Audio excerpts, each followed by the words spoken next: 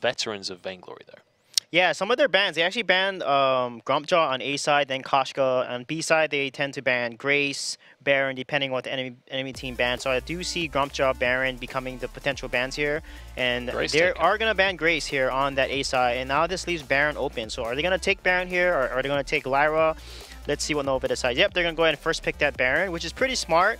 However, I know Gankstars knows how to play against a lot of compositions. So as long as they do not screw up their draft, um, I think they will be fine. And there are ways to deal with the Baron as well, typically by getting someone who can you know, jump onto the backlines and get a lot of assassination burst damage. Uh, something like you know, Taka does very well. Uh, Blackfeather can do pretty well into Baron. Uh, Grace is probably one of my favorite Baron counters, but obviously it was a banned away. So it's a very smart ban by Nova, expecting to get, uh, you know, very likely to get this Baron through. I mean, Lyra also kind of enables teammates to fill that role of being able to go against Baron because you give them that gap closer. Sweet Jacob. Yes, Blackfeather will probably be picked here by Gankstars because Baptiste, Grumpjaw, and Koshka are banned, and normally Blackfeather is one of those top four junglers that a lot of people pick. Or they can even go with Samuel and give that to Xenotech, but I feel like BF would make the most sense here because you can flex him as well. And CPBF is actually really good into Baron because of his range and his ability to dive onto Baron um, and, and stick to him. So Blackfeather would probably be the smartest pick here, but you, you never know. They may go with another option here. But I feel like CBF would be the best decision. I like the Koshka ban, I like the Baptiste ban because those two heroes are really strong with Lyra or Baron actually on both sides. So the draft is going out pretty well. They're gonna go with an Id- they're gonna with an Idris here, which which is a good pick because Idris again melee counters Baron because he can get onto him and force Baron to play defensive. Yeah, it's also another one of those heroes that can just dive into the Baron if need be. When the jump jets come out, Idris, Idris can use his ult and not be available for a target for those uh, the double rockets. So there are ways to definitely outplay the Baron as an Idris. Samuel gonna come through for Nova, and this is one that again can just has the potential to take over a game if it's not kept in check. Yeah, they're probably going to take Ardan with Samuel here because that will counter Taka um, from the side of Gankstars here. So Ardan will most likely come out unless they want Starboy on Lance, which they uh, actually have preferred him on Lance over anything else. But instead, they're going with Kath to directly counter the Idris. So that's actually a really smart pick there by, by Nova to basically counter Idris because Kath is very good into Idris. So I see Gankstars here, given the composition of Nova, I think what makes sense for them is uh, uh, potentially the CP uh, BF, or they can even do a Taka if they want to be a little more risky, so to speak, and just dive onto that Baron um, and force him to build defense. Because a weapon Aegis on a Crystal Taka, that's a lot of burst damage coming out. We'll see if the Taco will be the final lock-in here for Gankstars. Not decided just yet, still 10 seconds on the There's clock. also CP Glaive. It's going to be Black Feather coming on through in the end alongside that Idris. So we'll see how these compositions are going to pan out. A lot of damage on both sides though. These are very, very damage heavy compositions and both teams with very little CC actually. You've kind of just got Catherine stun and that's about it across both compositions. So this is going to be a lot about positioning and, and a lot about who can actually burst people down quickest. Yeah, Catherine Stun, uh, the Oblivion, but that's obviously nowhere near as frequent as the Catherine Stun. So it is going to be tough to lock down anyone in this game, which is I, I feel like gives a slight edge to the side of Gankstars because they have a little bit more, you know, dive and mobility throughout these team fights. So not being able to lock down uh, those targets could cause problems if they get onto the Baron and Samuel. All right, Sweet J, what are your I- thoughts? I really like Xenotech on Blackfeather. He's done phenomenal on it. It's CP Blackfeather with a Lyra you're talking. That's going to win early game against a Samuel and a Catherine. And Baron's going to have a rough time getting to his late game if they're going to snowball the jungle. So I think Gankstar is going to take this this game. All right, so we're certainly favoring Gankstars on the desk. We want to know who you guys at home are favoring as well. Hashtag Vainglory8 on Twitter. Get in touch. Let us know who you are going to be supporting moving on forwards in the Vainglory 8.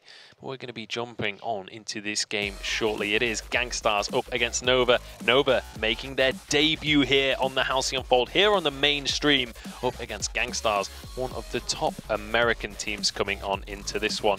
We actually spoke to Iraqi Zoro back in London about his team. I'm really disappointed with my personal performance because I don't think I played really well, especially in the last game. Props to my teammates for making sure they alleviate some pressure off of me and you know perform really well so that they can carry me through the games. And you know, I remember the Gankstars games from London, and it was Xenotech just stepping up to an entirely new level, level Scoundrel. Now we'll have to see Araki Zoro on a incredibly mechanically adept hero like Idris. He's going to really have to be pulling his weight if he wants to go up against this Baron. Yeah, and, I think Iraqi Zoro, he, has had some up and down performances in his career, but has generally been very consistent. Uh, Xenotech has only got better and better the longer that he has been playing with this Gankstars roster, so it's a good thing to keep an eye on him. It's going to be a weapon power Idris, it looks like, and a CP Blackfeather in the jungle. Dowsy, I think I'm usually the analyst here, but when it comes to weapon power Idris, I feel like I might have to hand the reins over to our resident Idris one trick. What do you what do you feel like this matchup goes like, especially as the game progresses? Um, so typically in Europe, you usually pair oh, the Idris with an Ardan. Araki, Araki's in a lot of trouble. Very hard. This this matchup's very hard for Idris. Early on, Idris is, is going to struggle because of the lane pressure that the Capron has. That's why you paired it with a a um, a Lyra here, is so that Idris has the healing and has a bit of backup so that he can take this harass from both Starboy and Truth in the lane. Um, typically, Idris can blow up Baron, but it's going to rely a full coordination from the side of Gankstars. The portal on top of Baron with the Bright Bulwark needs to be imperfect, essentially, so that Idris can dive on top of the Baron, blow him up with his combo, and when eventually when the Bright Bulwark does expire, if Baron's not dead by then, Idris can obviously follow up with a Shimmer Strike, follow the Baron to wherever he lands. Um, Starboy, he's going to have his work cut out for him. Catherine, very good into Idris, can stun him instantly and really just cut down the combo, so uh, I, I feel like Starboy is going to be the key to really keeping Truth alive. But, you know, that sounds dumb considering he's the captain, even more so than usual. Man, Dowsy could literally talk about uh, Idris for days. As wow, very low veins going on this Lyra. They're going to jump forward and put pressure on Xenotech here. I've now become the play-by-play -play somehow. Not sure how this has happened, but it has. You, you, started this. You said I had to do the analysis, so that means you have to do the play-by-play. -play. Actually, uh, by the way, something we didn't touch on. Gankstar did get first blood in the jungle. Yep is because a lot of pressure from Truth and Starboy in the lane here, trying to put pressure onto Iraqi Zoro early on, did allow Vanes and a level 2 Xenotech to pressure a Samuel, which I think was losing some of the massive power spike that you have here as the Nova composition. Samuel, one of the best level 2 duelists in the game, and you left him alone in the jungle in favor of trying to put pressure onto Xenotech on this Idris. So you did, you did allow your early power spike from Lone Delphi to kind of get dragged out a bit as another little fight taking place here. Oh, Delphi it's just happened again. This is going to be troublesome if they continue allowing Lone Delphi to be poked out here. Idris very good into both Baron and Samuel because of his blow-up potential. And when you pair that with the um, poke that Xenotech can put out with a Black Feather, we know that his Black Feather is you know, fantastic, then uh, you, you're going to have your work cut out for you because typically Gankstars are going to actually want to start the fight off by poking as much as possible if they can at range, with Chakrams with on points before looking for an all-in engage.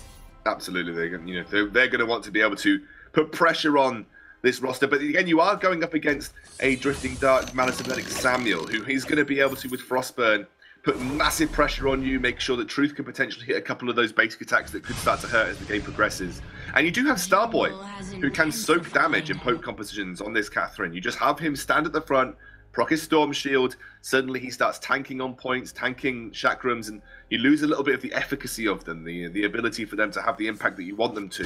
Starboy again starts to put pressure onto Xenotech in the jungle here, he will just... Uh, I think he's trying to spam the recall to get that wonderful glitchy recall bug, but uh, not going to happen. so many pros recently have rediscovered this bug where if you um, it, it, completely doesn't impact gameplay by the way. I just want to put that out there. But if you uh, you, you recall and move at the same time you kind of do this shuffle uh, across the ground that looks really funny. Um, more so tilts your opponent if you're ahead and you're just doing it all around. I know i certainly got tilted uh, when some members of the european pro community did it to me in three-man queue. Uh, but moving along, Scoundrel, before I, I, derail the entire cast here. Um, it hasn't been a, a, terrible start for Nova. They, have maintained no. early pressure from the side of Xenotech and Araki. Um, in fact, in the lane, it, it's been Truth trying to put the pressure on. Now he has to be careful because here comes Xenotech looking for a gank. Bright Bulwark will stop him from jump jetting away. And he's going to have it up in just a second. Founder comes out. He goes sideways instead of backwards. And Xenotech's able to find the snipe. Yeah, snipes him out with the on point there. Something that I really like about having the Black Feather is something that we always underestimate with Black Feather, by the way, Dowsy. The trail that he generates will be of use to Iraqi Zoro, especially when they're trying to follow up on a specific target. You get that movement speed boost. I think it's something that we kind of underestimate about focusing a single target when you're running a double melee composition. That um, so sorry, that, that boost is, is, is incredibly important, Dowsy. Certainly is. Lone Delphi now in trouble, and you can see that trail being set up, Veins rushing forward. Araki needs to get in range. Doesn't even I need it. Xenotech has the job and will take it down. Here comes Truth though. Truth can actually win this fight if he positions correctly, but Araki instantly dives forward. That shuts that one down right where he stood. Already hit that crucial point of unlocking the uh, divergent paths for the Idris, so he's now able to just instant, instantly teleport when he uses his A. Here comes the ultimate. this is huge. Ion. Okay. Forces the fountain. Feel... Forces the fountain out of veins though. Now for Nova, they have to execute. They have to find a window of opportunity where they look for a kill. Veins, of course, on Lyra can provide healing and will provide healing.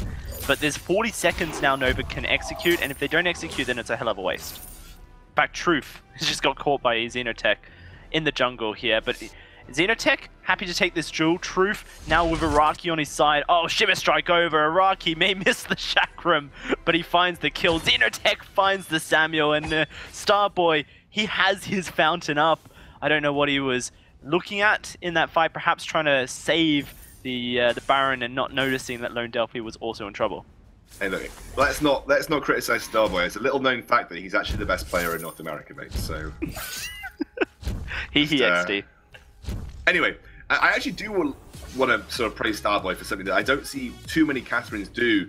Is just consistently stacking because Catherine is so powerful right now. Because in part due to how good she is into certain compositions, but also in part due to that fact that her heroic perk got buffed by one shield and armor for every stack. So the more you stack Catherine, the quicker that she gets to a point where you have incredible resistances and it's very hard to take her down. So the more you can stack early game, the better it is to transition into the part the part of the game where Catherine becomes very strong, which is in that later stage when you do have all those stacks.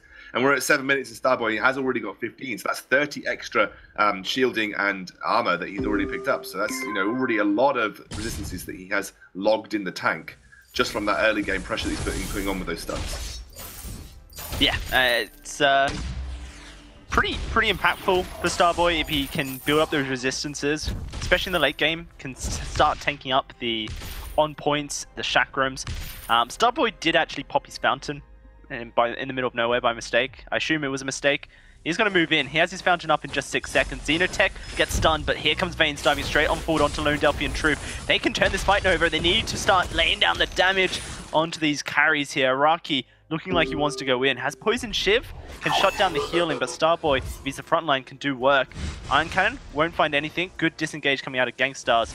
This is kind of where things become a bit sketchy, I think, for Gankstars, is if they don't blow up a target with their Arcane Passage in, then the re-engage potential uh, on the side of Nova is pretty huge. Starboy can just stun people, and Nova will be able to blow them up if that happens. Yeah, Gankstars have got two components to their composition. Again, that range composition that they have. Wait, wait a Oh, Iraqi Zoro takes a lot of damage, but once more, it's a fountain not quite saving the life of his Baron. Xenotech looking for the on point, doesn't hit it. Good dodge from Starboy. He survives as well from the harass really from good at keeping himself alive. Right. Knows his damage, uh, can take what he can take with damage.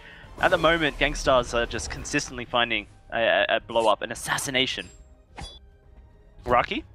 Rocky might dead here. I feel like Lone Delphi kills him. Nope. okay, never mind. I think the Crucible out there from Veins just kept Iraqi Zoro alive. Looks like a uh, Xenotech here does have that stolen away from him, however. And he gets blown up. And he gets blown up. There you go. So, very aggressive positioning from Gankstars. They feel ahead, right? They do feel ahead, but again, you do have to respect the fact that if Nova do catch you, you have got a lot of burst damage coming through with this Baron who's got tension bow right now. And obviously, if Samuel can land those empowered malice and verdicts, that's always incredibly hard and difficult to deal with. You've got also got to stress the fact that these are two very squishy melee carries, realistically. Idris, very easy to take down if you can lock him down, as is a CP Blackfeather. Doesn't build too defensively as a weapon power Blackfeather would. So and doesn't have the doesn't have the sustain built into his kit like a weapon power black feather would. So he's a little bit more of a squishy target to focus down. So if Nova uh, can lock them down, and I always feel like Catherine is a really good um, hero to lock down those particular targets with, especially when you've got a lot of single target bursts from Nova. Um, you have, you have, to be very careful about your positioning for Gankstars because if you get um, caught by anybody from Nova, you know these two carries will very quickly hit the floor. Certainly will. Gankstars doing a lot of good work here. Truth getting pressured down by these chakrams. Araki consistently hitting them onto Truth, and it just makes the defense of this turret so hard because Araki is able to reposition with his Shroud Step so quickly, turn things around. Baines takes a huge chunk of damage there, will be able to heal himself up over time, and these on points from Xenotech just off the side, out of, you know, field of view for the side of Nova makes things very difficult. They could look for a dive here, and I'm sure they will. Baines can set it up very nicely with the passage. Starboy's used his stun as well, but the Drifting Dark is not something you really want to fight in, so Gankstars will decide not to. This turret's very low, mind you. They could just stick around and look to poke it down. Truth is getting antsy. He wants to fight. He wants to kill Araki Zoro, and he's not really using those jump jets to the full capacity. The fountain will be used to heal everyone up. This is the fountain to heal themselves up so they can stay around, defend the turret. This turret is still very low. I feel like it's only a matter of time till Gankstars take it. Very close here. Long range chakrams, long range on points coming out. This is the range that Gankstars can look to exploit. Remember, there's a very limited time using Drifting Dark where Lone Delphi can respond. So getting caught when he doesn't have that Drifting Dark up is important. First turret does go down for Gankstars. They can just disengage, but Nova didn't really give anything much more away. They didn't try and defend it with their life as Starboy runs in. Doesn't quite find the stun here. Got the Null Wave Gauntlet now, by the way. Already picked up that Null Wave Gauntlet. Very aggressive move in terms of itemization. Gives a bit of cooldown reduction, which Catherine does really use. Um, but, you know, they don't have anything like a, a, Crucible, which could be really useful at saving carries. They've gone for a, a very aggressive movement in the form of that, uh, that Null Wave Gauntlet. Araki dives in here, can he find the damage onto Lone Delphi? Lone Delphi's in a lot of trouble. Xenotech looking for the execute. Oh, and he goes down. Truth now going to be targeted, but a good stun will hold him up. Xenotech might lose his life. No, never mind. It's Xenotech. I forget who I'm talking of. That's going to be the carries of Nova going down here. Now, I just want to touch on itemization from the Idris real quick. You do see Araki going towards the tier 3 armor here. I actually think from a lot of testing I've done, there's an argument be, to be made to, to skip armor completely and go towards a Slumbering Husk. Usually Baron does a lot of burst damage. Darcy loves these Slumbering Husks. No, uh, uh, uh, uh yeah, I do. I, I do. But it, it's into very specific heroes, and that very specific hero is Baron, who we've seen multiple times tonight. Yeah, sure. No, I agree. I mean, I, I haven't done enough testing on Slumbering Husk to sort of assess its value, but I do feel like it is something that should be maybe considered more so than armor. I don't think armor is that good against Baron personally, um, because realistically, he will hit hard, and even despite you having armor, it's a lot of AoE damage as well, a lot of sparse damage on those rockets. So even if he hits you, he might be doing damage to the rest of your team regardless. I think what's the best place to, to, to do with Baron is if you can get in before he lands that burst, and, and once that burst has been landed, Slumbering Husk will protect you from that. And that, that crucial moment after then, when he winds up for the next auto attack, if you as long as you block the jump jet's double basic attack, you actually then have a big opportunity to jump in and start to blow him up. So I think I think I think I could be on board with you that Darcy. I think there's a, an opportunity there. Use the Slumbering Husk to negate the jump jet's double basic attack. Use that to tank it up as you move in onto him, and then blow him up once you've, uh, you've got into position. And this is what Gankstars are continuously doing. They are engaging fights. Araki does go low, but it's just going to be Lone Delphi targeted on down. Uh, Gankstars have realized they don't actually need to kill Truth every fight. They can go for Lone Delphi and it's going to be just as effective because then Truth doesn't have the support of a Samuel. And Araki going to make that chakram dance and find himself another kill. Very nice stuff. Do lose Veins in the process, but that's a win for Gankstars because they're keeping uh, uh, Truth off the Halcyon Fold, which means he's not farming and a CS deficit is being created uh, in favor of Iraqi. I would have this worry in the back of my mind, though, Dalsy, right now, that Truth is very close to four items. I, uh, that that is the one the one thing that I'm in the back of my mind thinking that actually Truth is getting close towards another Tyrant's monocle here. And something that we haven't really talked about is these fights although they are going in Gankstar's favor, there is still an element of them that does feel quite close. The damage coming out from Truth is starting to hurt. That was Xenotech scraping his life and, Vayne's obviously going down. So there is this element now in the back of my mind. I'm thinking actually, this Baron is coming towards a point where he could be fairly scary. Yeah, keep an eye on that because it, because Nova is going to start so sort of truth is going to start scaling up pretty quickly here.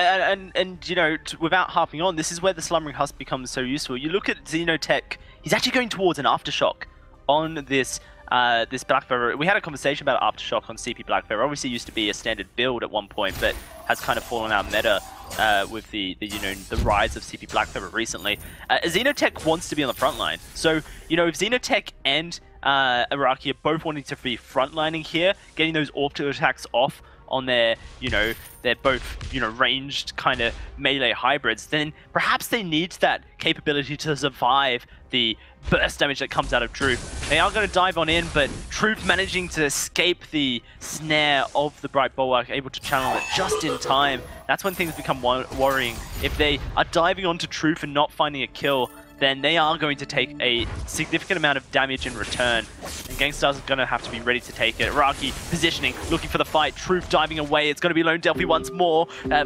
targeted, but he's alive. Fountain and Truth is laying down some damage. Never mind, he's not sunk. It's going to be Raki stealing his life away. Starboy going to be trying to get Lone Delphi out of this one alive, but Araki doesn't want to have any of it, and that on point slows down, and the Chakram does connect. Gankstars are making this look easy. Starboy will lose his life next, and that's going to be an ace coming through for Gankstars. But I remember now that Idris has also built up that tension bow, which, if I remember from my uh, Idris masterclasses from Dowsey, very good at bursting a single target, which is what kind of what tension bow is meant for. He he finished that just before that last fight. Um, so he had sorry he had that finished between that and the last fight. So now he's finished it. He's now got an extra bit of single target burst to put pressure on Truth with. And Truth has been rushing those four items, which I think is very important for him to reach, but hasn't really invested that much into defense, especially as he's only sitting on a singular light armor at this point in time. Kraken is now on the board. I also really like that Xenotech is now pushing further towards a clockwork. Something that I've always okay. felt about CP Blackfeather. So he's finished it now. Um, something that I've always liked about Super Black Blackfeather is he, he kind of falls off towards the late game. There's a big fight broken up there. It is a big fight. Lone Delphi off to the side. Truth cannot escape the Shimmer Strike. That's how powerful it is, chasing him down, and Lone Delphi gets slowed. It's going to be Xenotech chasing, huge jump forward, and that's going to be a, another kill going over to Xenotech. Araki trying to deal with Starboy, struggling a little bit, but he's going to get the uh, assistance of Xenotech, and he's going to secure a triple kill for himself. His Black Feather is ridiculous as the game gives him that title, and Ace comes through for Gankstars and Nova are falling to the wayside. I think this could just be a push for win for Gankstars. Again, like I was going to say, I really love that Xenotech didn't rest on just the Shattered Glass and the, Broken Myth. I love that he went for the Clockwork. I do feel like in the late game there is a lull in uh, Black Feather, uh, CP Blackfeather's damage if you just have the Shattered Glass and the uh, Broken Myth. Looks like we're going to be ending the game right here, right now, though, Darcy. Yep, it is just going to be Gankstars taking this one away. Never allowed Truth to really get online. Neither did Lone Delphi either. It's the risk of running uh, an eggs, a double, you know, late game threat is that when you've got melee heroes that can blow you up, target you down, that uh, if you never hit that stage, you're you're going to really struggle to survive a game like this. So the, I think compositionally, Gankstars were always in an advantage because they had the ability to just dive a, a, a, Baron, and I think that's something that's really important. That you, if you dive a Baron and you have a composition that both your carries can do that, if you wipe him out, suddenly there's a Samuel, and Samuel is really good Uh, pretty much all stages of the game, but it's towards the late game once his Drifting Dark is down, he doesn't really have that much of an impact in team fights. So if you could burst the Baron and then deal with the Samuel afterwards, you're going to be pretty happy. Yeah, certainly. Great stuff coming out of Gankstars as they show that Baron can be dealt with if you counter him. We'll have to throw it back to our desk to break that one down further.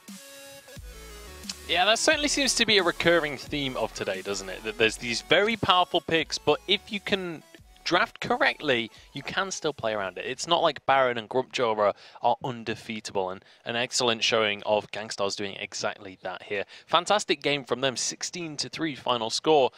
Gankstars looking on top of the world right now. Yeah, definitely. We're able to take the fight to Nova, jumping onto this Baron pretty constantly, making sure that he didn't have the ability to get himself farmed up and fed to that late game point, mm-hmm. which is what we were saying in the draft. Like this composition that Gankstars had was built to take out that Baron. Yeah, and Iraqi had amazing uh, Shimmer Strike ultimates, just dodging a lot of damage and just getting onto Baron and blowing him out when Baron was trying to jump away. And Xeno too. I mean, Blackfeather with his ultimate was just so mobile and, and with the poke as well and execute, just able to take out Baron so quickly. And I wish Nova did their homework because Blackfeather has been played now by Gankstars four out of the six past games that they've played so far, and I'm counting this game today. So they definitely need to do something when it comes to the draft here regarding Blackfeather. If they want to play a really squishy uh, carry, either take the Blackfeather or don't give it to Xenotech, I feel. Yeah, either pick it or ban it. Those are your two options, and uh, we'll in a few minutes we'll be able to have a look at Xenotech's KDA as well because he had a ridiculously good game yeah. on that black feather. But yeah, generally speaking, these team fights just it felt like Nova just couldn't seem to get a grasp of, of what they wanted to achieve in these fights. Gankstars were just coming at them thick and fast, and there was very little that, that Nova could do to actually react appropriately. Yeah, it, was just too much burst. Again, not having really any lockdown. That was another thing that we touched on before we got into the game was there. There's only two forms of crowd control entirely on the side of Nova, and it, just, it wasn't enough. Yeah, so the Blackfeather actually 12, 2, and 4 was the scoreline coming out Oof. there from Xenotech, which, I mean, that, that bolsters what you were just saying, Suijay. Maybe this is something that you just can't really let Xenotech, Xenotech have anymore. Yeah, for sure. And plus, combined with Lyra, that's why Xenotech was able to get a first kill so early against Samuel. Samuel just can't do much in a jungle. Mm-hmm. And Blackfeather with Lyra is a very strong combo that we saw Armada actually pick a lot of when they had Baron on A side and just went through the gauntlet, so to speak. So this is something that teams need to definitely be aware of and make sure that they have a plan against if they're going to give Xenotech or a top team a Blackfeather Lyra composition. All right, so speaking of planning then coming on into this second game, how how where, what changes right here for Nova to actually get back into these drafts and, and get back into the series in general? Like, it, do you have to really focus on that Blackfeather specifically, or is there just way too much to ban in that scenario? Yeah, I think if they took Baron with Blackfeather, they had a better composition along with Cath. Mm-hmm. They can just basically stun, and then Blackfeather can then on point the person that's stunned, and then Baron can jump in and just burst that person out. That's a lot of damage yeah. from CP Blackfeather and Baron. So I felt like a CP Blackfeather would have been better because it not only is a good combo with Baron and Catherine, but also denies you know a, a CP Blackfeather Lyra composition along with Idris like that both can just dive onto a Baron. Like I said, melee counters Baron. If anyone get onto him and do so much damage, he has to play defensive, and he just won't survive. Do we still expect things like Vox to be banned coming into this one? Because we've seen Vox banned a huge amount today. We've actually seen very little Vox play across the board, which is a stark contrast to what we saw last week. Yeah, I mean, it's it's just an interesting way that, again, the, the priorities have shifted week to week. And uh, with the Vox, I feel like it's it's probably going to still be focused. I don't know if it's going to be banned this time around. I just I don't feel like it's there's too many things to ban away, mm-hmm. and the Vox, while it is very strong, it's just I, I don't feel like it's going to be first picked by Gankstars, and so maybe Nova lets it through and they take it themselves. All right, we'll have to see if that's going to be the case. I want to talk a little bit about Nova here in terms of their their position in the standings and such. They they've not had a great start to the Vainglory. It's fair to say. Is this a situation now where you're 1-0 down, you're against the ropes, you're not doing well in terms of score, do we see something cheesy come out? Do we see something where Nova maybe pulls something really out of left field out just to try and get a win on the board, just to get themselves on the scoreboard at all? Yeah, I feel like they need to get on a hero that Truth just excels on. You know, when during challengers, he just carried so hard on a weapon Kestrel, mm-hmm. and the composition made sense for his for what they were playing. And uh, right now, Truth has the most deaths in VGA. He has six and a half deaths per game as the carry right now. So they need to really figure things out from a draft perspective. All right, well, draft is already underway and they are rattling through. It's going to be Kestrel and Grace Band away from this one. Lyra is the first pickup, though. Gankstar's really liking going with that Lyra. Vayne's obviously very comfortable on that pickup. And this has been a consistent first pick generally across the last few weeks. It's kind of, if you don't want to go for those heavy power picks like the Grumpjaw, like the Baron, and Lyra's a very good fallback. Yeah, Vox is open now. Vox would be a great pick for Nova. Truth is very proficient on Vox. I like Gankstar's draft here, denying a strong hero that Truth is uh, excels at, which is Kestrel. And then Nova bans Grace and they take Lyra, which means that they have one of two out of two of the strongest healers, they got one of them. So really good pick by Gankstars here. Nova is going to go ahead and actually instead take the Baptiste and ban Blackfeather, which is actually very smart because Blackfeather CP is really good into Baptiste, especially once he gets level 8. It's also just taking Blackfeather away from Xenotech, forcing him to have to play something else because he has played it so frequently. However, uh, I would assume that Gankstars may just go ahead and ban away the Vox this on this pick here. Yeah. Because, again, they've already taken out the Kestrel from Truth. Now if they take away the Vox from him, we mentioned Truth has been struggling. He has been really struggling this season. And if you force him onto these picks that he's not as comfortable on, it's very likely to continue, but they're going to go ahead and take away the Samuel. That's an interesting ban because maybe they think they're going to do a Captain Baptiste here and then pick Samuel for Delphi. So maybe they're targeting Delphi because Delphi is a really good uh, Samuel player. So now this leaves Vox open for no. They need to take Vox here because Poison Shift Vox is very good against Lyra, and they can't give over a Lyra Vox composition to Gankstar. So if they do not take Vox here, they're going to really put themselves in a tough spot when it comes to draft. We'd also have Adagio Grumpjaw and Adagio Glaive open. So Gankstars is known to play double heal with a weapon carry hero as well in jungle, and that's that's something that Nova needs to watch out for as well. So the Idris going to be locked on in here for Nova, going very aggressive with this composition. A lot of damage available for Nova. We'll see what they're going to finish this one off with for captain-wise. What do we think about this Idris pick? I mean, Idris is it has strengths, but I just it's a bit early in the draft to pick it up for me for a team that is struggling. If you're a team that is very confident in your abilities, then you can go ahead and grab that Idris and just feel like you can outplay your opponents. But I just don't feel like Nova are at a situation where that's necessarily the case. Vox is, again, very likely uh, to be an option here for Gankstars unless they do want to go for the Adagio Grumpjaw. Uh, Grumpjaw is a pick that Xenotech is very much a fan of playing, so we could very much see that, but it's going to be the Baron. We didn't even really touch on the fact that Baron was still open this late in the draft. Both Baron Yeah. and Grumpjaw made it through the bans, and, like, And- that could just be a double pick, right? Baron isn't that good to Idris, but Lyra's Bulwark does limit his mobility, Idris' mobility. But also, if they have Baptiste, why are they picking Idris? Because Baptiste is really good against melee. Um, so Gankstar is going to go ahead and take Baron with a CP Grumpjaw. Again, this kind of worries me because if Nova can get to scale and get that Baptiste to scale, it's, he's going to outscale the, the, the CP Grumpjaw here. So this is looking like a very interesting matchup now. I think it could be even. Alright, so Suijay not confident with Gankstar's draft so far. Bacon, what are you thinking for this final pick for Nova? Oh, they're gonna have to get someone who is tanky, and so I think like Ardan would fit that bill. But they're gonna go with a Reim, so this is gonna be the Captain Baptiste. The the Reim is iffy against the Baron uh, for me, just because Reim wants to stick on a target and be right up next to them. Obviously, after the jump jets are down, then the Baron is very susceptible, but he should never really be in range to have that be a threat. We'll see if that's going to be the case. Very heavy melee composition coming out, but also, uh, what are we assuming? Captain uh, Batista? Yeah. Is that the only one out of these three that can be a captain, I'd assume? Yeah, it's going to be Captain Baptiste for sure, I feel. Uh, Reim is going to be a very hard counter into Grumpjaw. He's going to get rooted. There's a Baptiste Ordain. There's a Reim Stun. There's a lot going on in Nova's kit to shut down the Grumpjaw. But they do need to get onto that Baron because if they let Iraqi just hail damage from afar, then they'll, they'll probably lose a lot of the fight. So they need to find a way to get onto the Baron.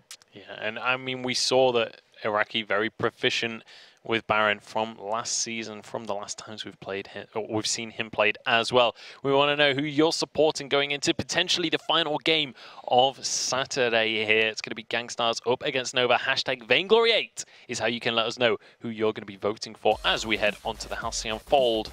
Let's pass it over once again to our casters. Thank you very much, Munchables. And it is Nova looking for their first win here in the North American VG8 since being promoted uh, last split. Going to be looking for it with a Reim, though, Excoundrel. Talk to me about what you think perhaps could be the problem with picking Reim, though, into Gankstar's composition. So Reim traditionally is very bad into double ranged, um, just because he needs to have the ability to get a lot of regeneration in the middle of a team fight. He's traditionally picked into, you know, frequently into heavy melee compositions. For Reim to function in this composition, he's a going to need to get early journey boots or off the back of War Treads um, from Starboy, or they are going to rely on Starboy to land Ordains, or they are going to rely, on Starboy to land Ordains. So it's it's very important that he either functions off mobility or functions off the back of those Ordains from Starboy.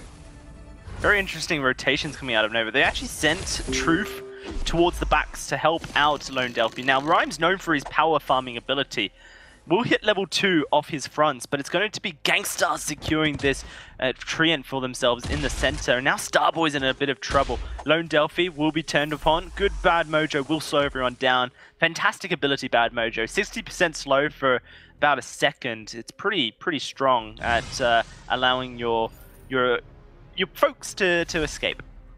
If there's one point in the game that you can look to try and punish a Reim, it's definitely early on.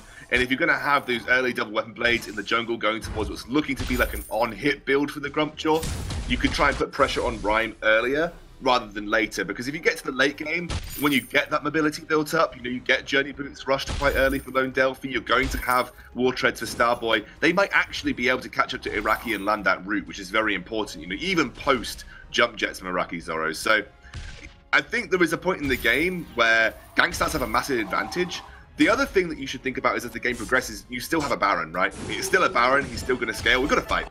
Yeah, we've got to fight. Lone Delphi looking for Xenotech here.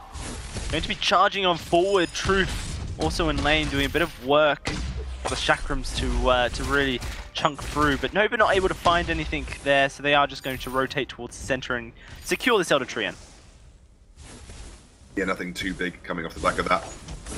Starboy able to shut down Grumpjaw. That's kind of what Baptiste is picked Starboy is down. very dead. Oh, no, he's not. Yes, he is. There it is. Auto attack comes out. First blood goes over to Iraqi. I don't know why he stepped forward. Can Lone Delphi clean up? Good route, but Truth doesn't have his chakram just yet. Throws it out now. Can they get in range? Iraqi's got the escape, but maybe Xenotech doesn't. The Scout Trap gonna secure the kill. And does it go over to Starboy? Yes, it does, of course.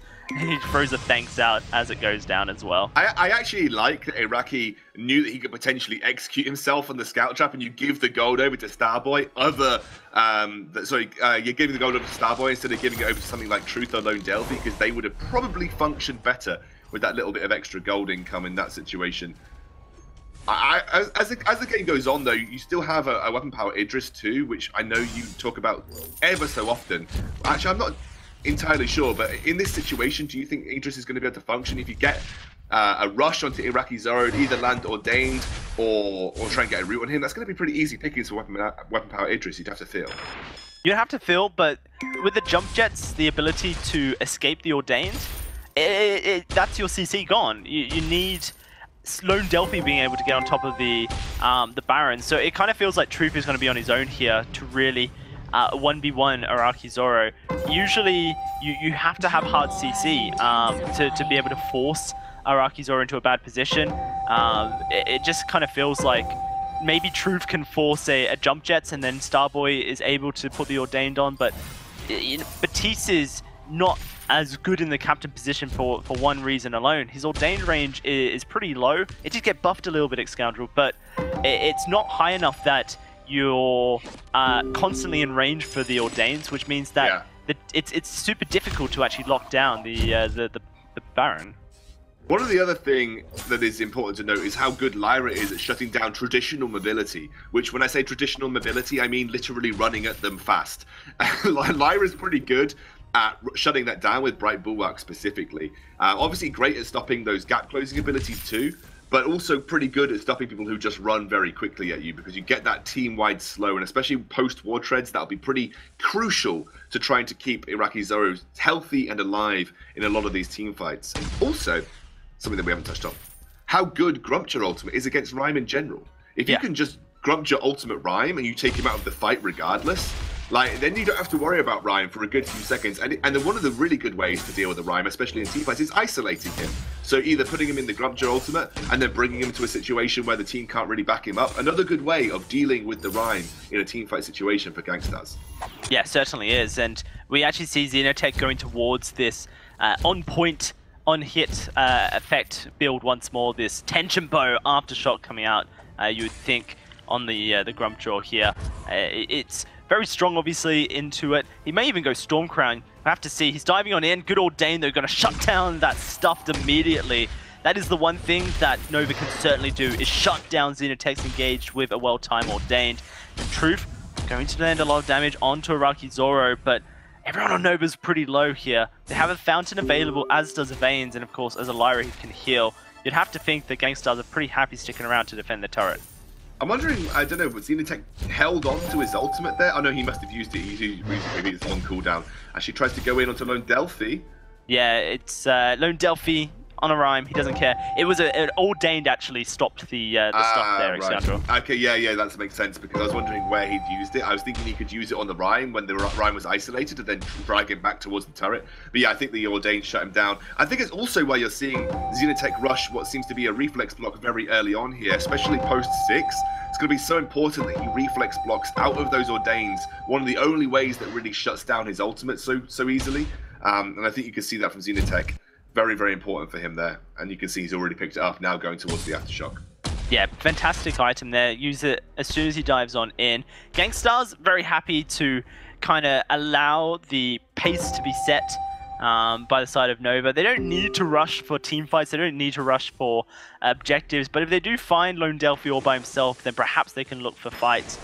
They want Iraqi Zoro to scale up. They want Xenotech to complete his very gold efficient build. Another fight breaking out. Xenotech is in the middle of this ordained. That's a huge root onto Iraqi Zoro. He's going very low. He gets the fountain, but it's not enough. And it's going to be Lone Delphi finding the kill. Now he can sustain. Another one goes over to Truth, and Xenotech's on the run. Starboy with the ordained coming up. He pops it down. The root goes out. Xenotech gets stunned. Can they find the kill? Starboy, can he find it? Truth throws out the chakram. Hits once, but not twice, and it will be Starboy finding the third. But they did delay the ace, which might mean they're able to get back and defend this turret. It'll be very close. No, I don't think it's going to be able to be defended. Iraqi Zoro probably going to be there just a little bit too late to allow that to happen. And the first turret of the game goes over to Nova. Iraqi Zoro used the jump jets. He might be dead. Yeah, he might be. He gets rooted on down. He gets blown on up. Cannot afford mispositioning like that against this composition from Nova. It only feeds into their win conditions. Veins throwing out these auto attacks. They're looking for Starboy here. Xenotech does so much damage, but Lone Delphi is very, very tanky and very happy to take these long brawls out. Xenotech realizes his mistake. Truth gets a heal. Gonna throw out that chakram. And Veins able to dodge it. Has that portal and will go home. Gankstars are actually on the back end. We haven't really talked about it, but it is a three and a half gold advantage currently to Nova. Yeah, I mean, they've actually managed to generate a massive mid-game lead here, Nova, against Gankstars, a team that was predicted to kind of walk over them. Nova have got some incredibly good players on their side. Truth was heralded as one of the best players of the VIS in the previous season, I believe. Starboy and Lone Delphi, I mean, I know Fuji used to talk about Lone Delphi as kind of a prodigy in the jungle. This is a team made up of incredibly skilled players who haven't yet found a platform to succeed with. Looks like they brought out this kind of unique composition. I love the, the combo between the Ordained and Reim. I think it was the one way that you could make the Reim work into this particular composition. What I do want to see from Veins, though, a little bit more defensive. He needs to be there for Iraqi Zoro to be able to use those bright bulwarks. I definitely think Iraqi Zoro has to save those jump jets defensively. Every time we've seen Gankstars lose in a fight, Iraqi Zoro has been using those jump jets to get offensively into position. Don't think that's the way realistically that Gankstars win these fights. You should be peeling, you should be trying to disengage, and you should be getting Iraqi Zoro to the late game so that then he can use those really defensive. Um, oh wait, we've got a fight. Yeah, Veins gets stunned here. Lone Delphi's trying to get into position. Veins not really the main target. Xenotech can look to go forward. Worth noting, this jump jet has been uh, overdriven, so he now is able to escape the CC lock. Oh, stuff doesn't quite connect from Xenotech. That's a lot of damage coming out of Truth and his Chakram. Almost completed his full damage build. In fact, almost has the goal to finish it as well. Nova going to push forward. Veins in a lot of trouble.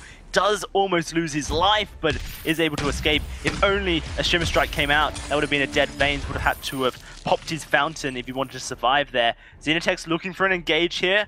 Nova looking pretty confident to just walk away from this one. Truth has a lot of gold in his pocket, and uh, I think he's going to want to try and spend it after they get this gold miner.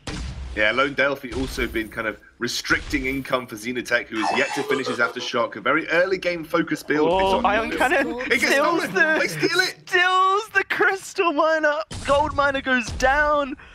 You should never lose a gold miner when you have a, sh a, on Idris. That is just Nova underestimating the power of Ion Cannon there. I actually think they got distracted as a team as Xenotech and Veins were making aggressive moves. They just kind of forgot that Ion Cannon, even though this is a weapon power Baron, Ion Cannon does do quite a bit of damage. So I think they just kind of underestimated the Ion Cannon there. A little bit lackluster, and it is a free steal for Gankstars, giving them a much needed gold injection as they move towards a third weapon power item on Iraqi Zoro here, now working towards what either could be a Tornado Trigger or another Tyrant's Monocle. We're at a very interesting point in the game, Scoundrel, because Yeah. I don't think either of us expected this composition from Nova to work, Not really. realistically.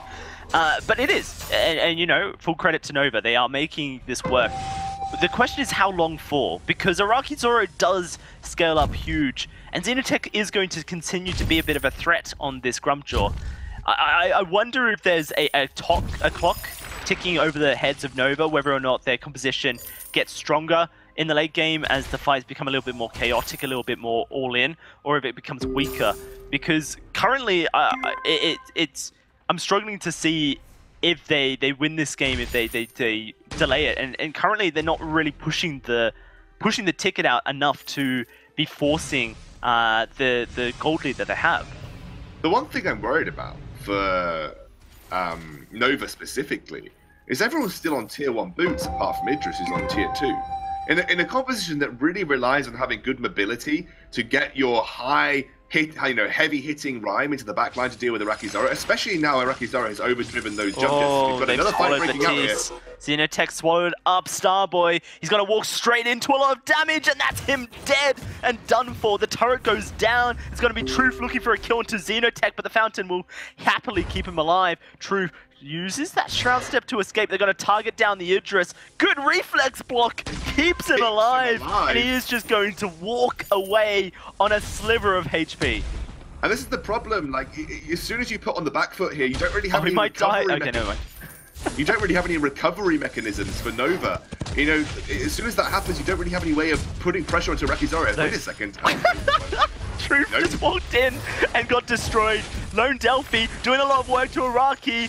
Oh, can't quite find the kill though. He's trying to get in there, but Xenotech nom nom noms him. Gonna spit him out immediately. He says no. Fearsome Shade flies out. Fears two. Iraqi though just gonna start laying into Lone Delphi, and that's gonna be another kill going over to the Baron here. Starboy, there's no escape for this, but he sets a double for Iraqi Zoro, and perhaps that ticking clock has finally blown up. Well, he's got 2,500 gold now. He's going to be able to finish his four item build and pick up a bit of defense to boot. One of the best ways to deal with the Reim, and I think there's a, we really exemplified it this one rank game. I think me and Dowsey played a while back. You basically kite in and out of him. You basically say, okay, someone take a little bit of damage from Reim while we then do some damage from afar. Then someone jumps out, someone jumps in. You basically keep Reim moving all the time because if you can keep him in, if he keeps in one space, he's able to then get basic attacks, build up fortified health, get loads of regeneration from Eve of Harvest. The way that you deal with the Reim is keep him moving, force him to have some extra mobility to make the plays. And right now, Reim had used his boots, he'd used those sprints. Iraqi Zoro was then able to jump out as he was being focused, gets a couple of basic attacks in, suddenly Xenotech becomes the focus, and then Iraqi Zoro then forces Reim to come back towards him. It was a really good way of dealing with it, and they seem to have found the ticket now, especially as Iraqi Zoro picks up that tornado trigger as his fourth item. True. diving forward. He's on top of Iraqi here, but he's getting blown up. He just can't stand the damage, and Iraqi will take his life. It's Starboy and Lone Delphi now to fight the fight, but Lone. Delphi just gets destroyed. Where is the defensives on the side? Yes, they have Atlas, but what does Atlas do against a, uh, a Baron? Almost nothing. It's not effective, and I, I have to question Starboy's intentions here. You mentioned already the boots problem for the side of Nova. He's gone down an Echo route here, so he can have a double Fearsome Shade or a double Ordained, and I just don't feel like it works into the win conditions of Nova.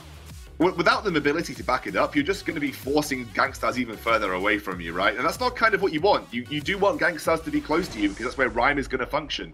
I think Nova got so far ahead, they felt that they could prioritize their offensive capabilities. You saw Reim go a broken myth before even getting. I mean, he's still not got tier two boots. That's I I I look. I hold my hand up. I'm not the best Reim player in the world, but what, one thing I do know about Reim is Journey boots are just such a good item for him, because especially against the ranged composition. I think they neglected the mobility needed to make this composition work because they were doing so well in the early game. Now we've got to the late game, they can't actually keep up with the pace of Gankstars because they don't really have the mobility to do it. They need mobility, they need to get in there, and they can't. Gankstars are learning and kiting and walking away. Nova, they've taken control of this middle area for now. Gankstars going to start pushing the wave back towards their base as Nova advance towards Gankstars here. They want to engage, get on top of the side of Gankstars and try and blow up this Baron, but they haven't had the chances to yet. Seriously, three Atlas Pauldrons, perhaps it's to focus down the Xenotech. They're starting up the Kraken here, trying to bait Gankstars into a fight. Well, Dane goes down onto a Xenotech, he happily just walks out of it. Nova, they've got the fight they want. Do they want that? No, look at that damage. Oh no, they've swallowed it up. The Reim, Xenotech's gonna spit him out, and that's gonna be Lone Delphi going down to an auto attack. Here comes Iraqi Zoro looking for Starboy, and Starboy's in a lot of trouble. Xenotech sets him up. Good fearsome shade will save his life. Truth already ported back, didn't want any of it.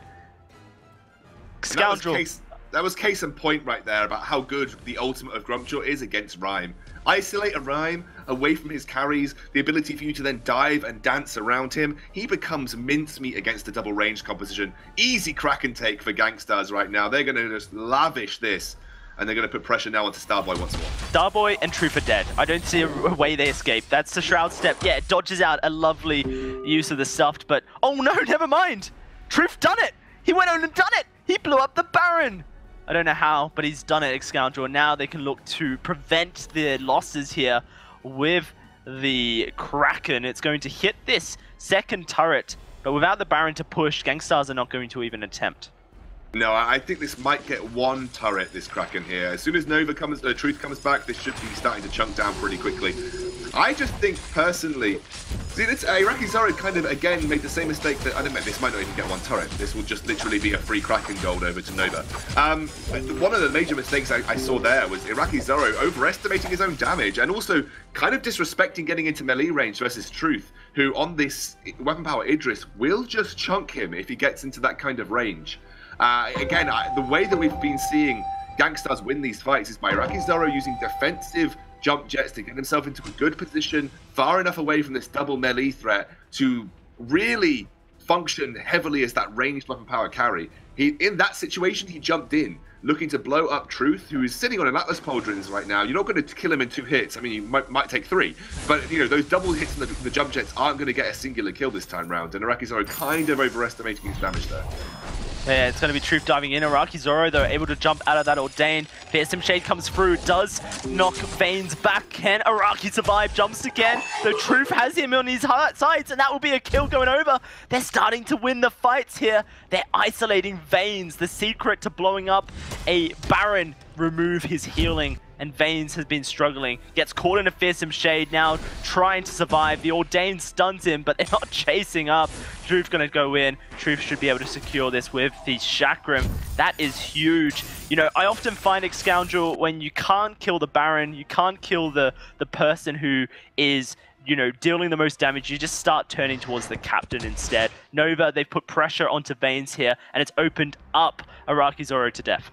Now, what I really liked actually there was that now Starboy has got the war treads as they push onto this choke point turret. Starboy had the war treads. They rushed in, they put an Ordained onto Iraqi that forced him to make a very defensive um, jump jet, which was good. But then Lone Delphi, who's now got tier 2 boots, popped those boots to chase Iraqi Zoro down. It's the mobility needed to pressure the Baron after he's used those jump jets, which was so important there. War treads, finally making a difference here, like you know we thought it would, and by forcing Iraqi to make that kind of jump jets early by just getting out of the ordained because he doesn't have reflex block because he's gone to a um, uh, because he's gone to a, a, metal jacket.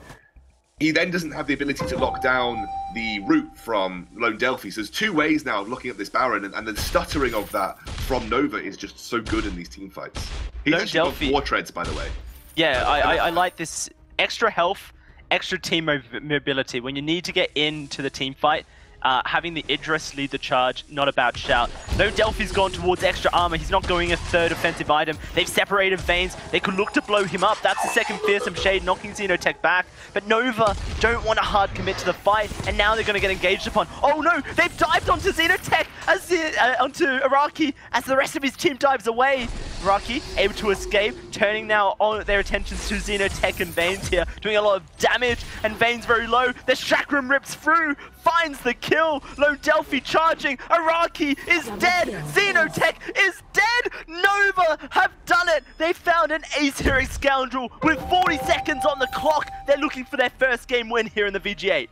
And do you know what won that team fight for them, Dowsy? Starboy's War Treads. That basically ran them right through onto Iraqi Zoro, forced him into an uncomfortable position because they had the uh, sort of the ability to follow up Iraqi after using his jump jets.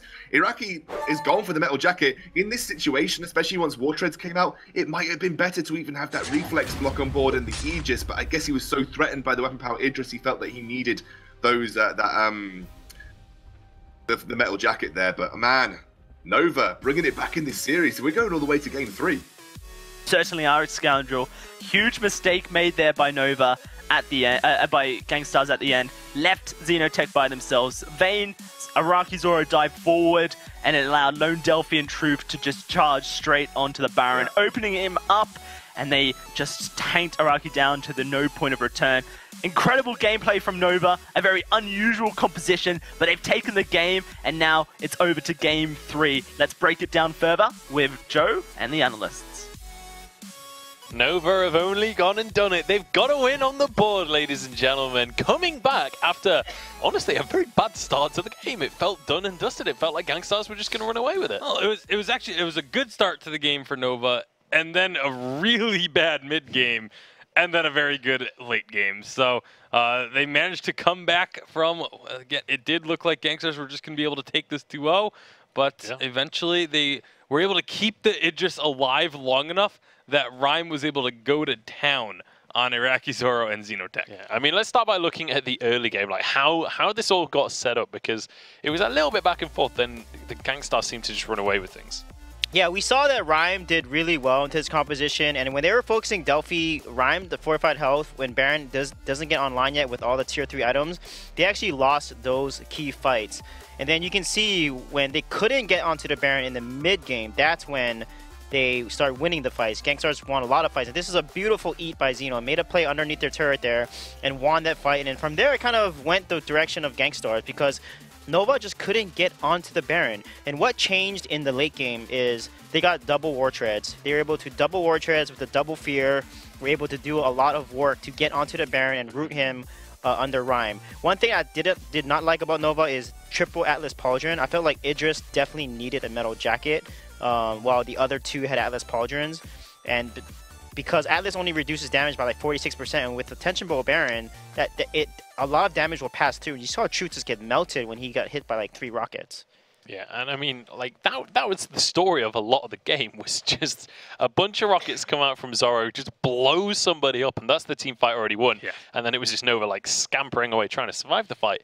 But then we got to the late game, and it was like suddenly uh, it was like Gankstar suddenly weren't able to protect the Baron anymore. They just seemed to lose that that coordination and that synergy that they had going for the vast majority of the game. And a lot of it was it, it was a little bit of not being able to protect the Baron any longer, but it was also not being able to blow up the Idris in an instant any longer. Uh, I think Truth down the stretch did a really good job of using his ultimate to get himself out of a fight once he got low, and then rejoining it once he could jump back in and be a little bit healthier after the Baron used those jump jets. So uh, the the heads up awareness by Nova in the late game is really what ended up saving them and turning this game around. Yeah, and I want to have a look at the late game now and like actually analyze some of these fights a little bit closer because these fights were absolutely crazy. Yeah, for sure. This is where, you know, Truth just got melted. As you see, the Atlas Potion doesn't give to him that much damage. And if they cannot get onto it, the nice dodge there by Iraqi, too. He dodged the Reim ultimate. It was beautiful plays by Gankstars there. And you can see if they couldn't lock down Baron, they won almost every fight. That was a nice block, a late block by Veins actually on the Fear. But here you can see that Baron does get deleted and they win this fight because Baron is knocked out. And that, that was pretty much the fight after every single game. You can see they yeah. they got banned right there because of the double war treads, the fear, etc. And again, it's when the Idris is not blown up. In that fight around Kraken the one right before this, it was actually the Stuffed ended up eating the Idris and took him out of the fight so he couldn't be killed. That forced Iraqi Zoro to then have to, when he used his jump jets, had to target the Reim. They were no longer available yeah. to hit the Idris. Idris was able to rejoin that fight. So uh, a, a little bit of a mistake there from uh, Gankstars eating the Idris instead of blowing him up, but it's still just great play from Nova. And also, like one of the big changes in the fight, something someone mentioned earlier, was the fact that the focus kind of shifted onto Lyra for the side of Nova. They started mm -hmm. to mm-hmm. blow up the healer, and then suddenly you don't have this unlimited health Baron anymore. There's no, it's not low, it's no longer as tanky. It's actually easier to deal with. And so long as they could withstand the damage they were taking while they finished Lyra, then they would be able to finish the job. And that, you know, we saw Lone Delphi kind of charging at, at the Baron just to keep him at bay while they finished off the Lyra. Fantastic stuff though from Nova. I'm very excited to see them get on on the board, especially in a series that on paper is so one-sided. Yeah, and I feel like Gankstars is is overconfident on draft. They really need to draft properly because every time they miss the draft, they end up losing or struggling in the games. Because mm -hmm. again, Idris counters Baron, melee counters him, right? Reim counters Grumpjaw. They picked those two. They picked Baron into Idris when they just use an Idris to beat Truth's Baron. So I felt like the draft, they're either overconfident or not really thinking through the draft, and they need to stop making these mistakes because every time I see Gankstars mess up the draft like that, they lose these games easy so this is kind of like a that draft was like a wake up call for Gankstars at this stage. They they need to kind of take a step back, like kind of wind it in a little bit and be like, okay, let's get level headed again. Let's kind of refresh and hopefully for them have a similar performance in the draft to what they had in game one of the yep. of the series and you know be able to turn this into a victory because you know, like right now for Nova, they have nothing to lose, right? Every win is a point for them. Getting into the semifinals is great. A lot of respect will be earned for them if they can take it. For Gankstars, there's a lot on the line right now. This is not a team that you can comfortably lose to without taking a little bit of a hit to your reputation. But here we go, draft underway. Grace and Grumpjaw going to be taken away, which means Baron is still available. That's been a heavy priority in the series. Yeah, I think they may switch it up here. Instead of first picking Baron, they may pick maybe Kestrel here potentially and put that onto Truth or Delphi with the because they can flex Crystal or Weapon Kestrel. So Nova may switch thing or they even take Lyra and, and get a healer because Grace is banned and that makes Lyra a very good composition because if they take Lyra and Baron is open, Lyra is good into Baron uh, because of the heals and the portal and bulwark that kind of disables his jump ability. So let's see what Nova decides. So I think they're going to switch it up because last time they first picked the Baron here, and I think they're going to change things up. Well, they're going to change it up in an even bigger way. Yeah. Going for this Baptiste right off the bat. Uh, again, maybe going to be a Captain Baptiste after they just pulled that out. So it's a great flex pick. You don't really know if you're Gankstars where that's going to end up. Uh, and because they just won with it. Otherwise, you'd say, okay, it's going to be the jungle, but uh, not necessarily the case with Nova. So, Gankstars, I'm curious if they're going to go for this Baron, even though they just lost with it. Uh, I feel like it's still a pick that they can very much make work, but they're going to decide to play it safer a bit here and take the Vox. And this is one of the first Vox picks we've seen in a few games, to be honest. It started to take a little bit of a back seat today, which, you know, I mean, Vox is definitely a very strong pick. It's a little bit surprising that it has been less priority. Yeah, they need to ban Baron here, yeah, because giving Baron and Baptiste over is very deadly into a Vox, so mm-hmm. that's a very smart ban by Gankstars. I like So far, I like how they're drafting. They're going to ban a Black Feather, which makes sense because Xenotech on Black Feather is good, and also it's good against a Baptiste composition usually. So now they can take... now they can take the Lyra here. Lyra is going to be a really good pick because Poison Shiv, along with a healer, is very strong uh, with Vox here. So I'm pretty sure they're going to secure Lyra, unless they want to surprise us and maybe take Samuel. Um, but I think Lyra is going to be secured here for sure. Yeah, I think part of it as well, there's no more bans, so Samuel's a fairly safe bet that it'll make it through the draft yep. with the Baptiste being picked up so early on. However, Baptiste definitely could still go over towards Starboy. That's what we saw last game, so it's not a guaranteed jungle. But the Lyra does come through in the end for Gankstars, so very solid two picks for Gankstars so far. This definitely feels like a safer draft. Yeah, now there's Grumpjaw open. However, if they pick Grumpjaw, Gankstars can play Reim into that. So that's why I like the Lyra pick here. It made a lot of sense. So Nova does have that Grumpjaw open. Baron is also open, so they could play Baron into Lyra, but that's kind of risky, honestly. Um, and Iraqi and Gankstars knows they know how to counter a Baron, so they may end up with maybe a weapon Kestrel because weapon Kestrel can go toe to toe with the Vox, and it's really more of a skill matchup. The Kestrel can, but I don't think the Baron is that much of a risk just because there is a Vox. You know it's not going to be an Idris in the lane against you. You know that you're not going to have. I mean, you know, I will say Baron is banned, so Oh, he is banned. let's Sorry. just move on from the So Baron Kestrel, there we go. conversation. yeah, I was Kestrel just will be trusting. locked I was just It's a long day. CJ. Yeah, That's, that's all that was. it, it has been a long day, but yeah, I, I figured since you're both analysing that, we'll, we'll move the conversation on. Kestrel is going to be the lock-in. And then Samuel, I think, because Samuel with the fearsome shade, fearsome shade them and then sleep them. Oh my god, that's a deadly composition. And Delphi is really good on Samuel, but that's going to give Grumpjaw to Gankstars. But CP Grumpjaw, like I said, is not good as you saw last game. Mm-hmm. So they're going to pick Samuel here. If Gankstars pick CP Grumpjaw, they're going to lose, and they need to pick something else that works better for them. Because uh, again, I don't, I don't really like CP Grumpjaw because it, it's outscaled by both uh, Samuel and Baptiste. Right, Yeah, definitely agree. I think a, a Glaive would actually be a really strong pick for Gankstars right here. Or Knocking- Koshka. Glaive or Koshka. I, I have a tendency to lean towards the Glaive uh, because I just I really like Glaive into Samuel. Uh, I feel like just being able to sh- flat out knock him out of his Drifting Dark is a really strong tool, and also knocking someone into a Bright Bulwark is very strong as Yeah, well. th- I think if they want to win draft, they can just pick Celeste here uh, because the she outranges the entire team, and if she keeps her position, she can't get uh, ordained. But then go ahead with Koshka here. So this is a little risky, but also could work as long as she wins the early game. Baptiste is going to be able to shut down her her uh, mobility, but Lyra Koshka is actually really strong in early game. So I like the draft from Gankstars so far. All right, well, that is going to be the drafts rounded out right now. And we're definitely starting to see this meta really be tested now. We're starting to see teams really learn how to counter some of these picks. And we're starting to see these power picks not make it through draft, not because they're banned, but because they know that their opponents are going to be able to counter them. What are our thoughts then looking at this draft? How are we feeling going into the third and final game?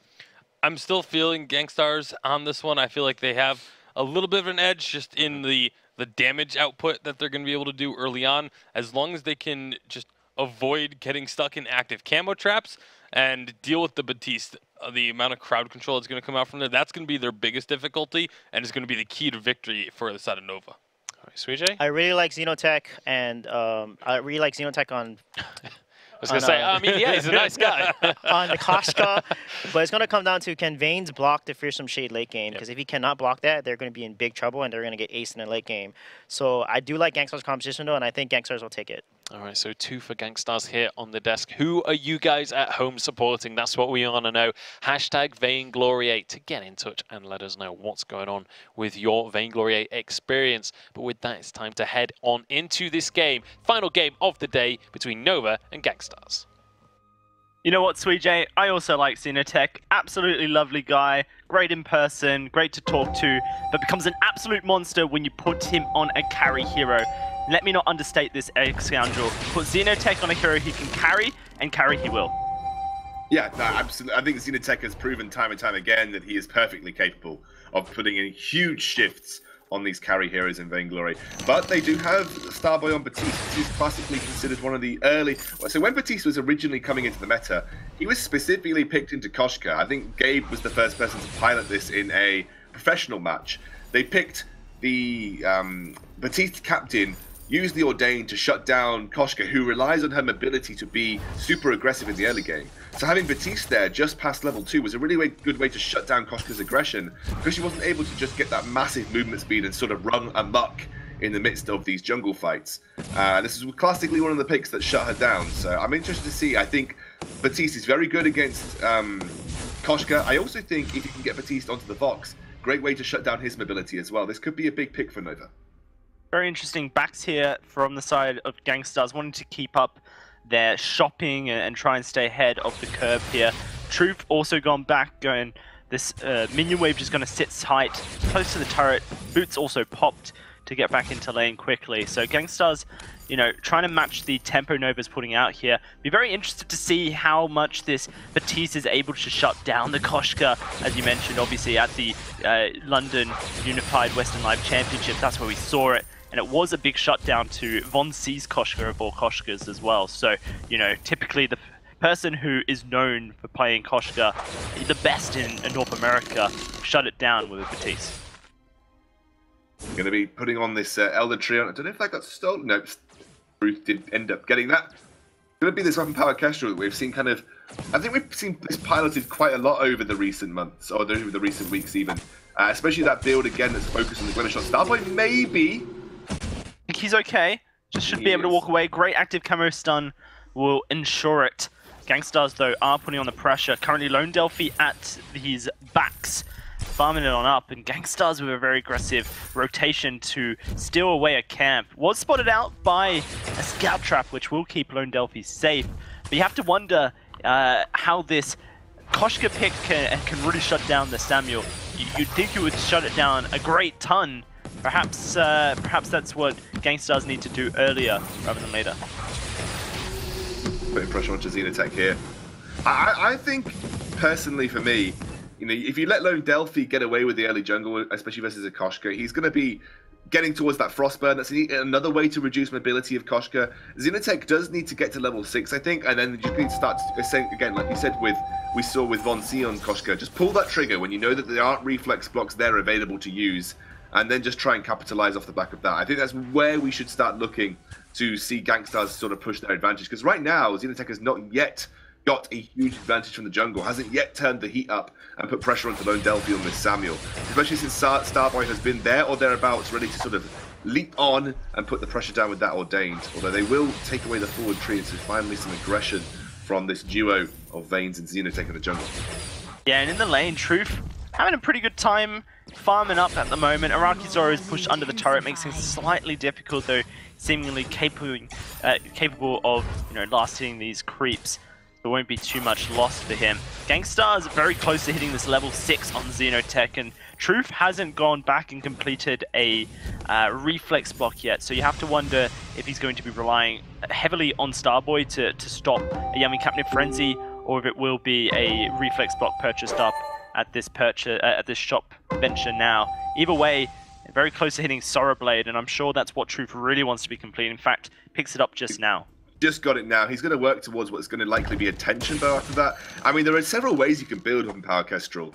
You can go Sorrow Blade into a traditional Weapon Power carry build with a bit more attack speed in there, maybe a Poison Shiv or a Breaking Point. Or you just go for what has been the more popular variant over the last few weeks, which has been the Tension Bow, Sorrow Blade, Tyrant's Monocle, uh, and then either like one, or wait a second, Xenotech.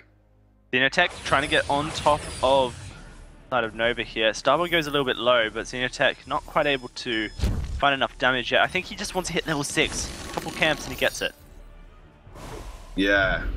And that'll be a big, big uh, sort of item spike and level spike for him because he can then just sort of turn on the heat. No reflex blocks available yet for any of the Nova lineup. This is where you just need to say, okay, well, it's time for us to go.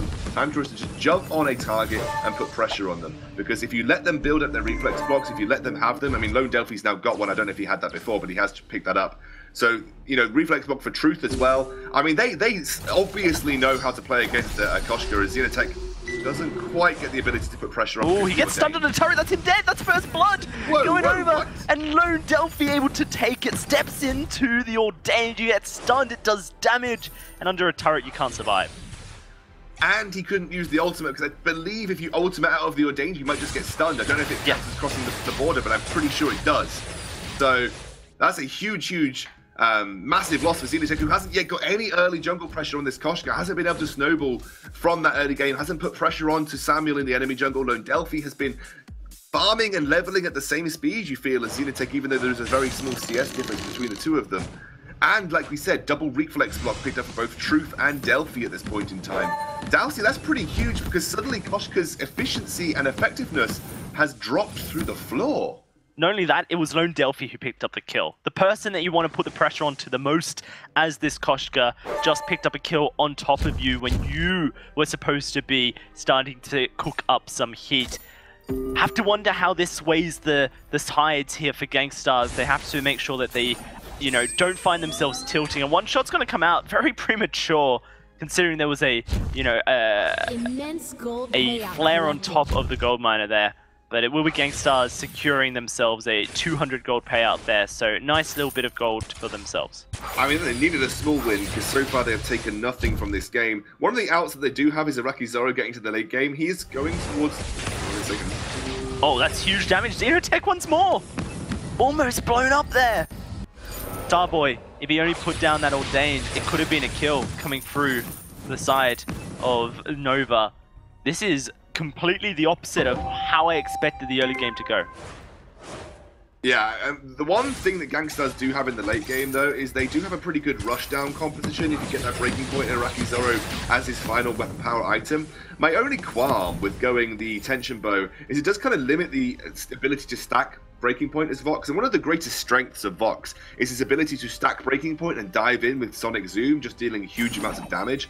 The tension bow build means you stack, stack slightly slower on average compared to uh, breaking uh, compared to the Sorrow Blade build instead. What you would do with Tension Bow, the idea behind it is to get a huge amount of burst very early on, and then you capitalize on that. What I do like about Tension Bow, I'm going to go on the flip side here, Dalsy, is that it does work nicely with a Koshka, because you're both about burst damage. So you're going to bring the Tension Bow from Vox, who is traditionally going to scale up later. And now he's going to have the Tension Bow, which bring, brings a bit of burst damage to Vox, who doesn't really have burst damage. Combine that with the Koshka, who's got a lot of burst damage, who I'd like to potentially see go either Broken Myth or um, Shattered Glass, probably Broken Myth. And then you have two squishy targets that you can focus in the form of Samuel and Kestrel. So this is somewhere where you could potentially look to exploit, having the fact that you've got a little bit of burst in your side. This is definitely a build that we've seen popularized over in Europe a lot and in North America as well. They tend to like to run it on Vox, this Tension Bow, Breaking Point, Poison Shiv. Obviously a lot of attack speed, you know, the Tension Bow on your first and eighth auto attacks definitely does a lot of damage. Have to see though, Bane's going to be going in, taking a chunk, Ordain traps him. Nova really want to fight, they don't have energy on Truth. That could be a reason to uh, to fall back. Give him that healing. He's going to start regenning. Iraqi wants to go in Xenotech as well. That's a lot of damage onto Xenotech though, as he has to dodge back. Xenotech gets blown up by Truth, and they're looking for more. Iraqi's already in the Ordained, and double the Truth. And now they're looking for Veins. Starboy charges forward. Ordained won't be up, but he has those holy, uh, those uh, bad mojos, and he's going to throw it straight on top of Veins. One more auto attack. It's an ace for Nova. And I mean, Xenotech's positioning, I have no idea what he was doing there basically separated himself from the team by that jungle wall and then essentially then walks back in after taking a whole host of damage dodges the um, i think realistically what he was doing was dodging the Baptiste ultimate but he reflex blocked anyway so he would have dodged that first section of damage and also the section of uh, fear anyway as truth getting a lot of damage onto him. Rocky Zoro seems to be running in with these boots. Yeah Rocky should be able to secure the kill in fact it'll be Xenotech. Truth as well should die. This overextension, whole Xenotech actually goes down. The gold miner gets collected by Iraqi Zoro. Bit of chaos there, Scoundrel, just to spice things up, of course. Um, just as I was praising Nova, suddenly Gankstars come back and find their way just back into this game ever so slightly. Iraqi's going to start to push down this turret. He might have enough damage. Nova's doing a really good job of clearing these minions. The ultimate comes out and that will get the turret destroyed. Suddenly we are back to almost level gold differences between the two.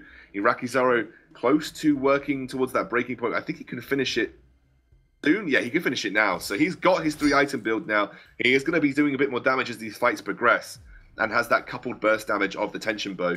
Another reason that we see tension bow built now, Darcy, 12% flat pierce. So 12% of your damage will be dealt as true damage despite the armor value that your opponent has.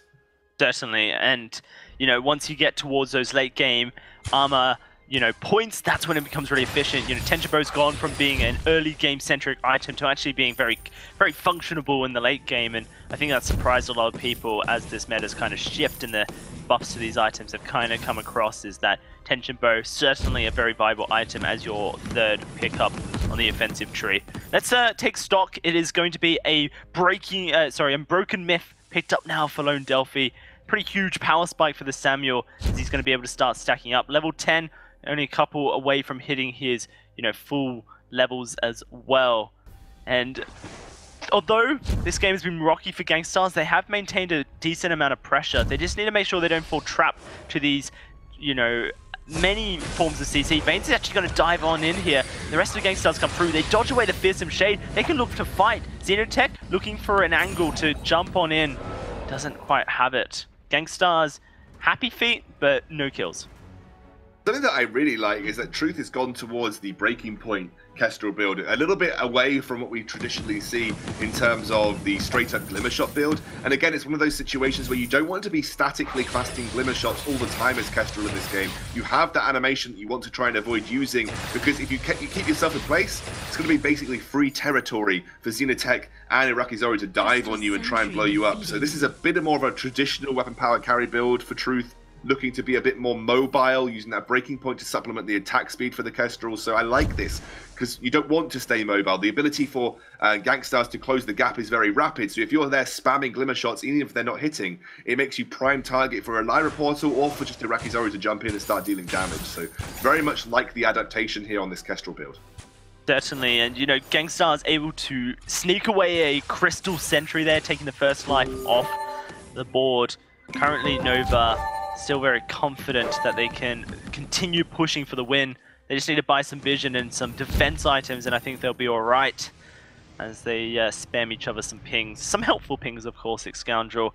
Currently in a good spot, though.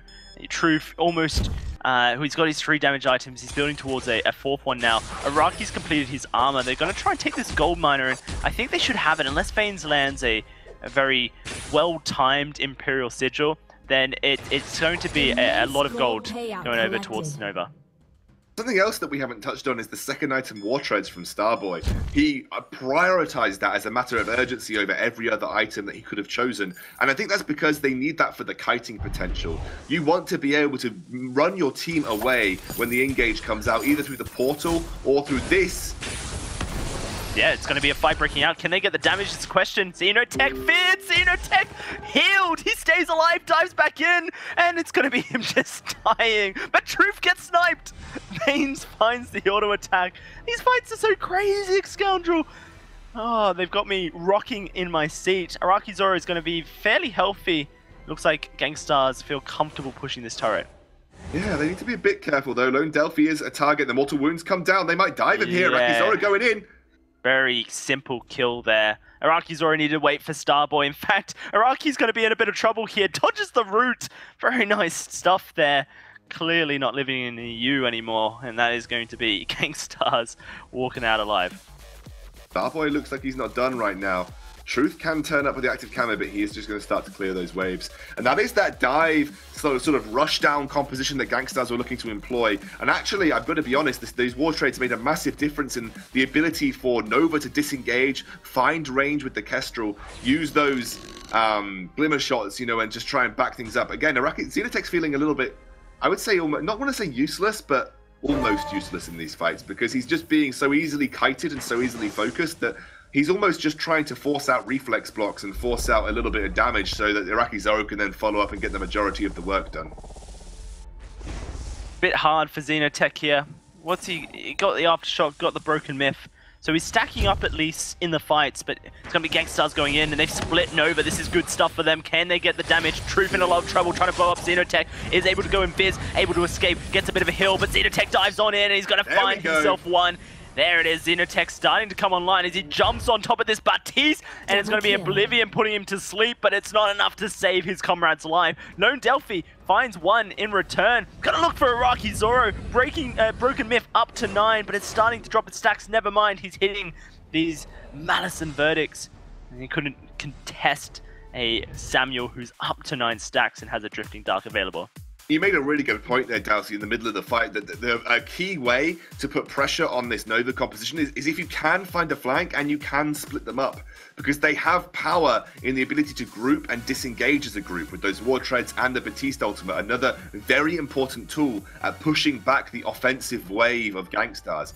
You know, when when Xenotech dives in with Veins, you just want to throw out that fearsome shade to try and buy yourself the time to reposition. But by splitting them up, they didn't have good position to do that, and Truth was so easily focused down. Xenotech actually found something useful to do in that fight because he was able to just rush down Truth even despite the active camos coming out. So I think that's another really important point. If, if Gankstars can do that and they can split things up, really, really useful for them. I am starting to worry about Iraqi Zoro's damage, though. It feels like it's a little bit lackluster in these fights. He needs to stack up to quite a hefty amount of breaking point stacks before he can actually get some serious damage done to the backline. And he's all by himself here. Could get targeted. No, oh, Ordain's coming out. They don't want to fight Hinova. Lone Delphi just trying to get that broken myth stacked up here. We're at the 17 minute mark Scoundrel. A fight very crucial to turning the tides of this game. Kraken goes over, turrets start falling, and it's going to be Gankstars looking for a fight onto Nova. It's going to be Lone Delphi separated, Xenotech going to rush on in, and that's going to be him dead. Xenotech able to escape, the Fountain keeps him alive. Truth trying to reposition, trying to find the glimmer shots to shred through the health bars of Gankstars. Has a one shot, won't hit it though, and now it's going to be Gankstars diving back on in. Starboy's dead, it's only Truth left standing, and Truth very low on energy, will get himself this Treant. Going to have to make a hero play, I think. Starting to position over towards this Kraken. There's a flare, though, stopping him from going into this bush for now. Going to step into it. The Kraken, very low. Glimmer shot, might be able to tear through it. Has to be well timed. Has to be on point. Can he still? Oh, he so cannot. Close. Oh, it felt like it was timed so perfectly as well, but I do believe Gankstars blocked the main shot, which is where the he hefty did. damage comes from from Glimmer Shot. So when you only have Glimmer Shot um, with weapon power, most of the damage comes in the area in the circle when you cast it. The main damage from the Crystal Power build path comes from the area that explodes behind that circle. I think the explosion hit Kraken, which isn't a massive amount of damage to have when you're a weapon power Kestrel, and that meant that it wasn't enough to secure that uh, that Kraken.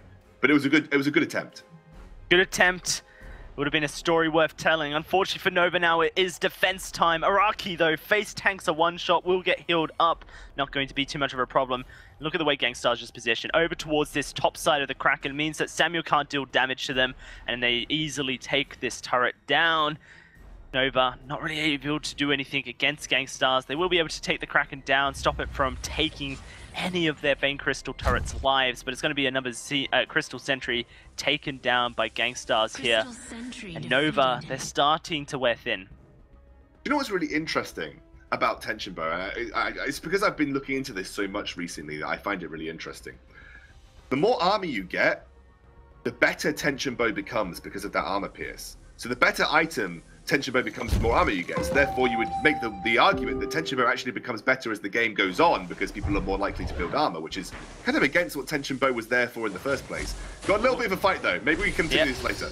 Lone Delphi's in a bit of trouble here. Starboy's trying to hold them up. That's a good fear. It does split up Gankstars. Now there's going to be another. It's the Echo. It's coming out. And Vanes is dead. It's going to be Nova pushing forward. Iraqi wants to go into the fight. Xenotech's in the middle of it. He's looking for some kills, but he gets taken down. Iraqi can't dance quick enough. It's going to be an ace. A clean ace from Nova. The Seesaw activated and they're on the push. The Echo double disengage makes it so hard for Gankstars to follow up on their initial movements. Vanes jumps in, suddenly Fearsome Shade comes down. They have to reset and go from square one. But square one gets reset again with another Fearsome Shade, and suddenly Nova push very hard into this Gankstars base, get two turrets off the back of that fight and now they can set up the vision for Kraken as well. Massive win for them there. And Starboy MVP. We always we joked about the Echo in the uh, in the games previous, but Echo has worked so well here for Starboy because it was such it's... an impactful way to disengage with that ultimate. It was the order of the Echo, right? He yeah. built it after his War Treads. So this time, the Echo is kind of in a great position. It just felt like you needed War Treads in the previous composition, but they won it. Now Nova, they've got a chance to win this game. In fact, they've got a gold lead as well Scoundrel. So they're in a good position here. Truth fully built up here. Lone Delphi just completing his defense items now. Nova, they have a chance. Just need to wait for that Echo to reset.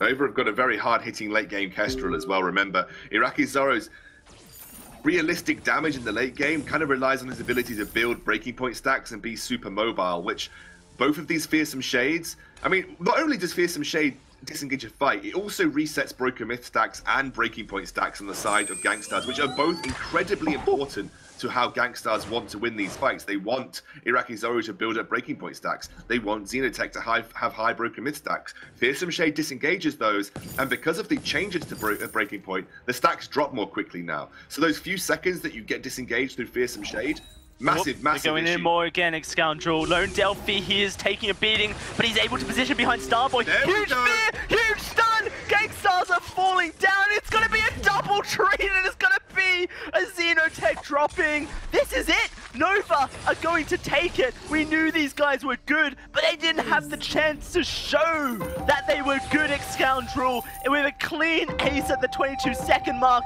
this should be GG for Nova. My word, mind blown. Starboy's double disengage Echo Ultima on, on the uh, Baptiste, just so strong at putting pressure on a all-in engaged comp from Gankstars. They barrel in with the portal, they try to dive, nope, shut down immediately. And then when the chase begins, they keep that chase going by another fearsome shade coming out on top of that. That was so good. So, so good for Nova, the way that they were able to turn that round with that specifically. They played this so well into Gankstars, and I don't think Xenotech got enough of an early lead. I just don't think Xenotech ran away with it as much as he should, as he should have done on this Koshka in the jungle and uh, Gankstars just kind of fell flat in the late game.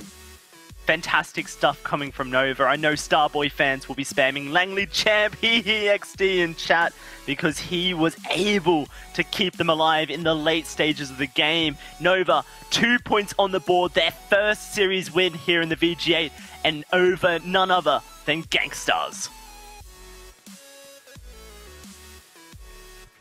Well, there we have it. Nova just waiting for the stream buff. Apparently, they come in strong. They beat Gankstars 2-1 after a 0-4 scoreline so far.